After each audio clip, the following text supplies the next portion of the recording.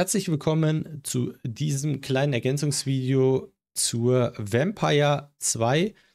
Ich wurde darauf hingewiesen, ein kleines Tutorial, ein Live-Tutorial zu machen zu Vampire, quasi ergänzend zu dem How-to-Build-Video, wo, wo, ich die Kapitänskillung und die Module vorgestellt habe, um euch einfach mal zu zeigen, wie kann man das Schiff auch spielen, um die Stärken und Schwächen auch ein bisschen zu erklären.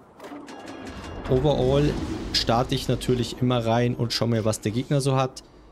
Ich sehe jetzt, er hat ein Radarschiff, wir haben zwei DDs und wir haben einen Flugzeugträger. Na, das heißt, ich muss auf jeden Fall auf den Flugzeugträger aufpassen und natürlich auf die Haragumo, guter Gun-DD. Ich versuche gleich das Cap zu contesten mit meinem Crawling Smoke und meinem Hydro und da gleich Druck aufzubauen. Ja, geht mit der Vampire ganz gut. Ihr habt gute Guns und mit dem Crawling Smoke und dem Hydro könnt ihr immer mal wieder ein gutes Play aus dem Hut zaubern. Würde euch auch immer empfehlen, arbeitet auch an Inseln. Ist immer sinnvoll mit einer Vampire und auch vom aktuellen Meterstand her gesehen ist die Vampire immer noch ein starkes Schiff. Klar, euer Hauptfeind ist nun mal Radar in dem Fall und darauf müsst ihr eigentlich am allermeisten aufpassen. Und natürlich, wenn ihr die Cooldown auf euren Smoke habt, weil dann seid ihr natürlich verwundbar. Ihr habt ein gutes Consumant, sieht man hier nochmal 5.8. Das ist in der aktuellen DD-Übersicht relativ gut. Alles unter 6 würde ich sagen, ist ein sehr, sehr solides Consumant. Ihr habt keinen Heal wie bei der Daring. Da müsst ihr ein bisschen aufpassen. Und deswegen werde ich, wie gesagt, erstmal für das Cap spielen. Ich weiß, ich habe jetzt hier eine Tromp. Da muss ich aufpassen, je nachdem wie die Tromp geskillt ist. In dem Fall ist sie bei 5, 9 geskillt, was auch relativ gut ist. Ich werde ihn einen Ticken früher sehen. Das ist natürlich ein Vorteil. Nachteil ist, ich habe hier eine Venice. Da werde ich ein bisschen aufpassen müssen.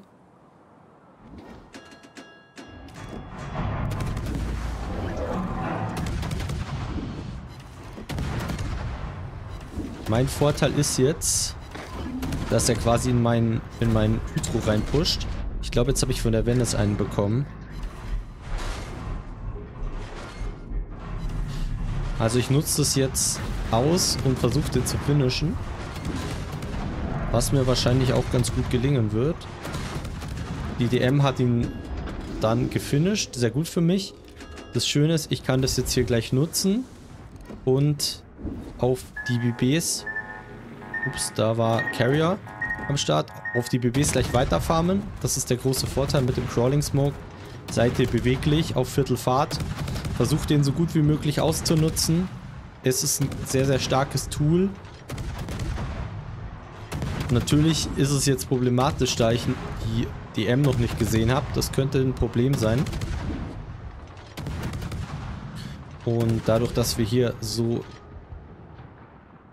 aggressiv das Cap geholt haben, haben wir natürlich den Vorteil, dass der Gegner, oder je nachdem den Nachteil, das könnt ihr jetzt sehen, wie ihr möchtet, dass der Gegner schon wieder wegfährt. Na, ihr, der Vorteil ist jetzt auch, ich sehe jetzt, wo die DM ist. Das ist gut soweit. Crawling Smoke ist gleich vorbei. Ich konnte eigentlich meine Combo sehr gut spielen, um DDD zu killen. Und das ist das, was ihr eigentlich machen wollt. Na, ihr wollt möglichst früh den DD killen. Ihr dürft natürlich auch nicht zu viel riskieren. Ja, da müsst ihr aufpassen, gerade mit der Venice. Ne? Wenn ich da eine gute Salve nehme von der Venice, bin ich halt auch tot. Das Problem ist, ich bin jetzt der Spotter. Das ist auch so ein bisschen der Nachteil von dem Crawling Smoke. Wenn ihr Spotter seid, seht ihr, könnt ihr natürlich die Schiffe nicht spotten. Na, ihr seid quasi, wenn ihr im Smoke arbeitet, davon abhängig, dass ihr ein anderes Spotting habt. Des Weiteren habt ihr gesehen, ich ziehe natürlich den Smoke hinter mir her. Das zeigt halt dann auch, wo ich bin. Na, das verrät euch die Position von der Vampire. Und das ist in gewissen Situationen natürlich auch nicht so gut.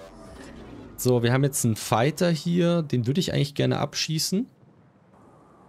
Weil der nervt doch ein bisschen. Die AA von der Vampire ist jetzt nicht weltbewegend. Das ist so ein bisschen das Problem an der Sache. Aber wenn der den nächsten Turn macht, ja, ich muss jetzt auf das Bismarck, auf die Bismarck Secondaries aufpassen. Deswegen werde ich den Fighter unberührt lassen. Sonst hätte ich ihn gefarmt.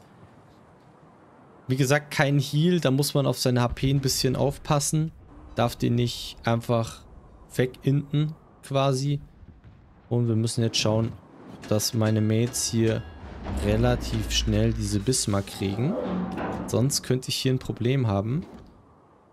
Ich muss jetzt eigentlich warten, bis der Fighter weg ist. Das Problem ist, die Bismarck dreht auf mich ein. Okay, Fighter ist weg. Das ist gut. Das heißt, ich kann wieder disengagen. Hab hier das Spotting natürlich auf meiner Seite. Ist ein bisschen ärgerlich, dass der Carrier zu mir fliegt. Ja, spottet mich jetzt natürlich auch. Mein Glück ist, dass der Thunder gerade geschossen hat. Das heißt, ich kann ihn jetzt for free farmen. Kriegt natürlich die zwei Bomben von der Akuyo ab. Ist natürlich nicht so geil. Aber das ist das, was ich wieder gesagt habe, ne? Ihr seid quasi abhängig vom Spot, den ich aktuell nicht bekomme. Und deswegen könnt ihr auch nicht so gut farmen. Und das andere Problem ist, dass euer Rückwärtsgang schneller ist als euer Vorwärtsgang bei viertelter Fahrt. Das bedeutet für euch, ihr müsst da ein bisschen aufpassen, weil der Crawling Smoke kommt euch da nicht hinterher. So, jetzt kriegen wir auf jeden Fall die Brände. Die DM muss ich so ein bisschen im Hinterkopf haben. Maybe kriegen wir den Thunderer raus. Das wäre ganz cool. Perfekt. Kriegen hier auch das Cap, so wie es aussieht. Hier ist noch was in der Nähe. Wir sollten uns auf jeden Fall umverlagern. Weil ich glaube, die Napoli ist ziemlich nah. Genau. Auf jeden Fall das Doppelcap jetzt geholt. Also ihr wollt mit der Vampire auf jeden Fall das Cap contesten. Ja, das ist ein, ein wichtig, wichtiger Faktor für euch. Ich muss jetzt so ein bisschen aufpassen. Ich habe Angst vom Carrier, dass der mich in einem falschen Moment spottet. Aktuell sind wir solide unterwegs. Wir haben die zwei Caps geholt. Wir haben gut Damage gemacht. Wir haben einen DD-Kill. Problem ist so ein bisschen, wir haben hier vorne Radar, da müssen wir aufpassen. Und ich würde jetzt erstmal versuchen, einfach zu spotten. Open Water Gunboating funktioniert gerade nicht wirklich. Das ist so ein bisschen das Problem. Und deswegen einfach erstmal für, für Spots sorgen. Das Problem ist, die spielen hier einen Smoke Train. Ich weiß nicht, ob das eine Divi ist oder ob die sich da einfach geeinigt haben, einen zu spielen. Aber es sieht gerade sehr, sehr stark danach aus. Ich hoffe ja, dass die Elbing vielleicht jetzt mal einen Smoke droppt dass ich mich da reinsetzen kann, aber der scheint seine Smokes äh, nicht gerne benutzen zu wollen. Ich nutze jetzt mal meine Torps. Oh, er benutzt ihn sogar. Das heißt, ich setze mich da jetzt mal mit rein. Und schaue, dass ich ein bisschen die Repo farme.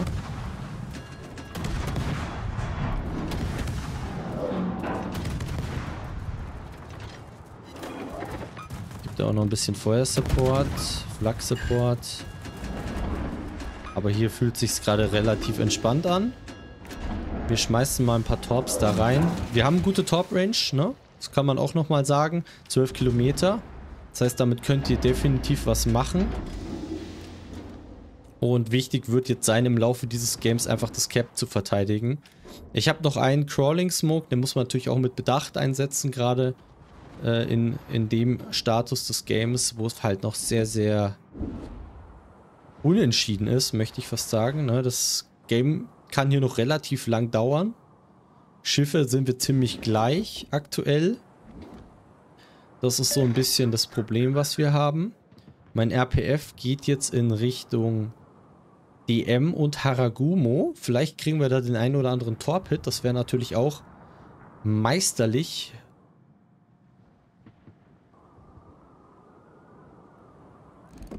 Aber einfach mal abwarten, was so geht. Haragumo ist natürlich sehr, sehr anfällig für Torps. Kann sein, dass die DM auch durch die Mitte fährt. Leider kein Torp-Hit. Okay, wir sehen, dass die Repu sich nochmal in Bewegung setzt. Wichtig für mich ist halt zu wissen, wo ist die DM. Die DM ist mein Gegenspieler in dem Game, so wie die Haragumo. Und leider spottet der Carrier die Haragumo nicht. Mal gucken, ob ich vielleicht hier mit dem Crawling Smoke nochmal performen kann. Da wäre jetzt zum Beispiel nur die äh, Wujing farmbar. Das ist einfach zu wenig für einen kompletten Smoke. Da ist die DM. Wir torpen nochmal hier in die Gasse. Ja, das ist ein bisschen Verschwendung. Naja, ihr müsst halt immer aufpassen, wer kann mit auf euch schießen. So, ich ziehe mal meinen Motorboost und helfe hier kurz mit. Wahrscheinlich hat er die ganz gleich wieder ready auf mir. Aber jedes, wir brauchen jeden BB-Kill. Der wird jetzt wahrscheinlich auf mich böllern. Ja, so sieht's aus. Aber das hatten wir so ein bisschen im Blick und können das deswegen auch gut dodgen.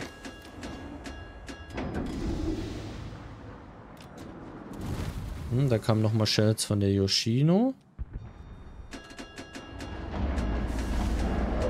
Ja, mein Problem ist so ein bisschen jetzt, dass mein Team sich sehr weit zurückfallen lässt.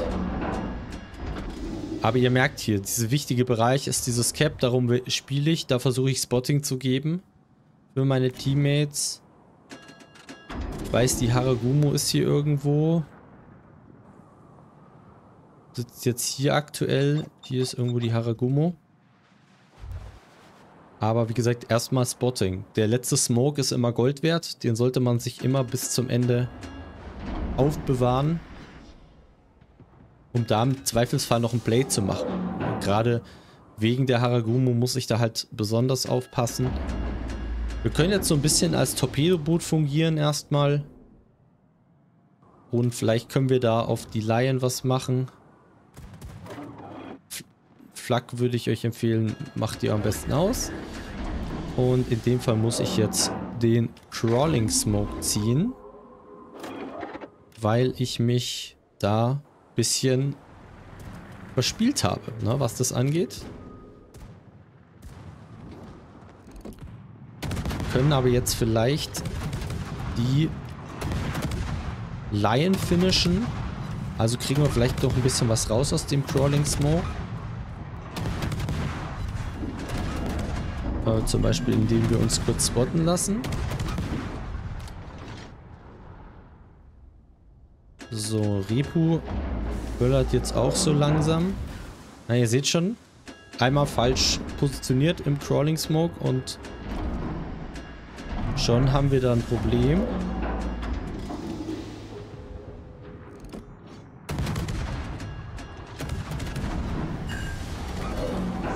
Den Gunfight muss ich jetzt nehmen und hoffen, dass ich ihn überlebe. So, und jetzt muss ich hoffen, dass ich die Rockets überlebe von der Akuyu.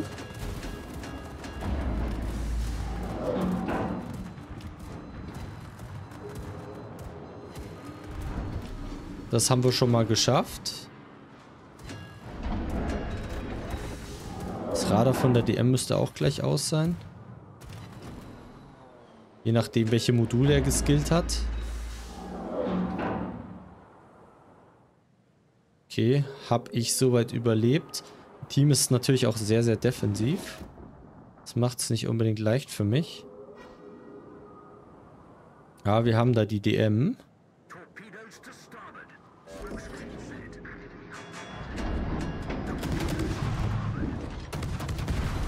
Und in dem Moment geht natürlich mein Smoke aus. Das ist sehr belastend. Aber so ist es halt in dem Fall. Wäre sowieso schwierig gewesen. Aber wie gesagt, mein Team ist halt sehr, sehr weit hinten. Der Gegner ist relativ low. Ich hoffe, die Brindisi kriegt da den Kill noch. Und sonst denke ich, war das eine solide Runde. Da kommen nochmal Shells geflogen. Leider geht die DM nicht drauf. Ja, wie gesagt, die müssen hier schauen, dass wir das, das Cap verteidigen. Da stirbt meine Colbert. Keine Ahnung, wie der schon wieder gestorben ist.